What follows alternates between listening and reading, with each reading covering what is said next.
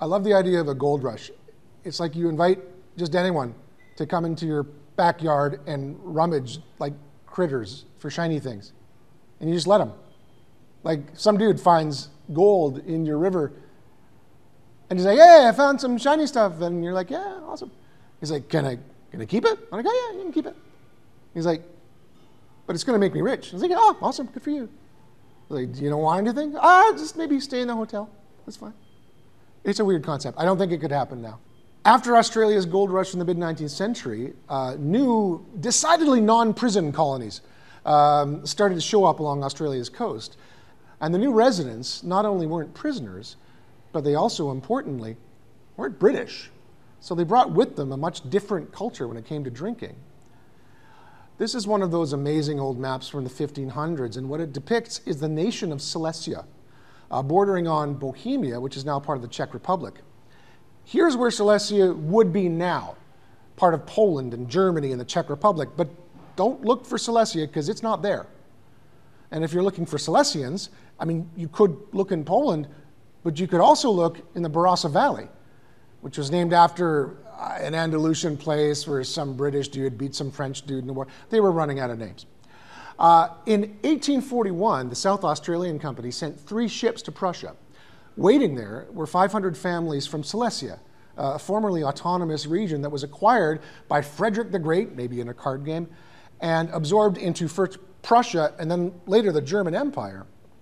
Feeling persecuted, these 500 families chose to leave their homeland and take the long, long voyage to South Australia, where they settled in the Barossa Valley.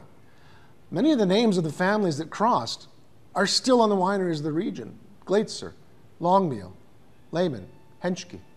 These farmers tried legumes, vegetables, wheat, but the land wasn't fertile enough to sustain any real agriculture. Plus, it only rained in winter and was incredibly hot. So, remembering their heritage, they realized the vine cuttings they brought over from Europe with them were working. So, they set about mass wine grape plantings. Now, the vines were healthy, uh, vigorous, and productive, but there's only one problem. The vines that they brought over were Riesling, which was the predominant grape of the region they came from. Now, the Riesling produced by such a hot climate was very ripe, very alcoholic, and it often turned brown. You'll notice that all these pictures are of mild rolling hills. There's no dramatic mountains where the German Riesling grows. They started planting thick skinned Shiraz and Grenache grapes, which they got from the Hunter Valley, and they fared much, much better. They still use the Riesling, though. They turned it into brandy to fortify the Shiraz wines that they were beginning to produce, and they spent decades and decades turning Shiraz and Grenache into stickies, and they made a pile of money doing it. Now, as the sweet port style wines fell out of favor in the second half of the 20th century, the Australian government freaked out and they began paying growers to like rip up their old Shiraz and Grenache vines and switch it to Chardonnay, which they said would always be popular forever and ever, despite the fact that nothing works like that. But the stubborn Germanic farmers did not pull up all the Shiraz.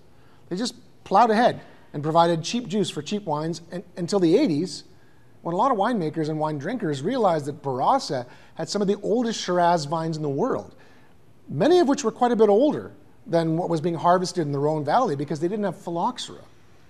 So the word Barossa began to reappear on labels, and by the time the 90s Shiraz craze hit, Barossa was at its vanguard. Now, Barossa has a continental climate with more variance between seasons and day and night. Although it's still somewhat moderated by the nearby ocean, it has a series of transverse valleys and sloping hills blocking a straight ocean breeze, and that creates a wide series of mesoclimates. So there is more of a trend there towards single vineyard wine. The Barossa soils are basically loamy sand, clay, and more sand. Bad for grains, but good for orchards and good for vines, which produce low yields but really high quality grapes. Now, the Paul McCartney to Barossa's John Lennon is McLaren Vale, named for again, some dude from the uh, South Australian company. It's kind of like our Hudson's Bay company. It doesn't matter. But it was settled by two distinct European influences the non prisoner British uh, and then a post war influx of Italian immigrants, uh, both of whom shaped the viticulture in big ways. Now, agricultural crops did do a bit better here than in Barossa, where all those crazy Germans were fooling around with Riesling. So viticulture started a bit later, but it did begin with two British farmers, James Reynell and his assistant, Thomas Hardy. Now, Hardy went out on his own and was the first grower to actually start making decent money at it. His namesake winery, Hardy's, continues to this day. Now, McLaren Vale made stickies like everyone else, that's where the money was, but the slowdown in sweet wine demand coincided with a post war influx of Italians to the area who already had experience with dry winemaking and gave the region a huge jump in know how. Uh, the Mediterranean climate was already familiar to them, and lots of wineries still keep their Italian names Serafino, Mitolo, Primo, Coriole. McLaren Vale makes amazing Shiraz, but they aren't tied to it, not having as many old vine Shiraz plots as Barossa next door. But the place can ripen in rocks, so pretty much anything can grow there. And it's one of the most experimental regions in Australia. It's really fun to see what comes next out of it, because you never really know. Now, McLaren Vale can be separated into two distinct halves, separated by the Onkaparinga River. Yes. The southern or lower half is by far the most important in terms of grape growing today and contains almost all the region's commercial vineyards. The northern half, the upper McLaren, is included largely on a historical basis as it was once home to some of the region's most important vineyards. Today it's largely an urban or ex-urban area, but still home to some of McLaren Vale's oldest vineyards. Geologically, it's a salad. Uh, the soil changes rapidly as you cross the region.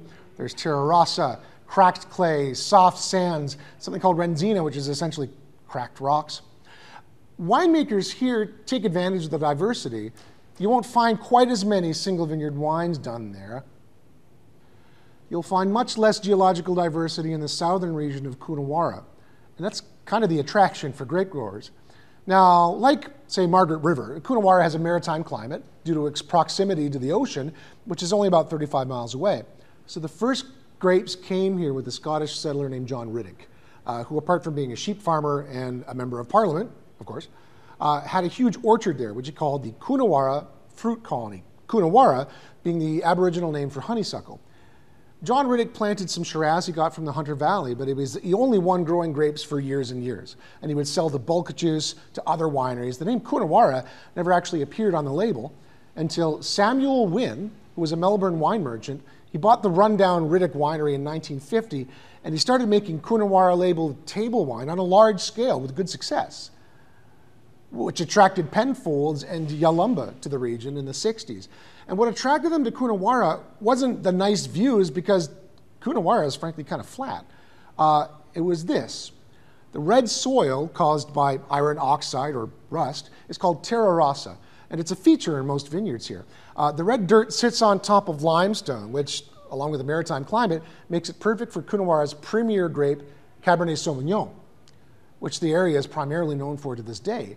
Now, when we talk about Coonawarra Terra Rossa, we're only really talking about a thin strip of uh, Terra Rossa, which is one mile wide and eight miles long.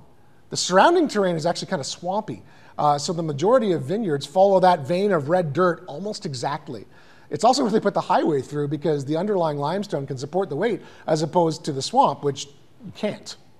Adjacent to Barossa is the Eden Valley. And lest you think it was named wistfully when the explorers saw the beauty and fertility of the area, no. Someone saw the word Eden carved on a tree, and so they named it that. Like I said, they were running out of names. Eden Valley has a long history with Riesling, just like Barossa, but they had better success with it. And to this day, Eden Valley Riesling is unique and iconic. It's bone dry and mineral. It's lovely stuff. But Shiraz is a big part of Eden wine, too. In fact, the site that is arguably the best Shiraz site in the world, Hill of Grace, is there.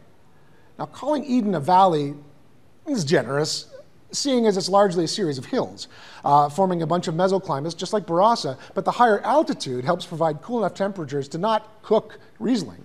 And the Shiraz from there has a more acid laced European backbone. Moving further north, the Clare Valley shares a lot of qualities with Eden, including the focus on Riesling and Shiraz, Named after the County Clare in Ireland, the first vines were planted by the Jesuits in 1852, and although it first specialized in Grenache, the region is now known for elegant takes on Riesling and Shiraz and Cabernet Sauvignon. Uh, we're skipping other places like Adelaide Hills and Limestone Coast, not because they don't make great wines, they do, but because their character is still being defined. Uh, they're exciting places too, though. So that's our whirlwind tour of South Australia. Now you have homework.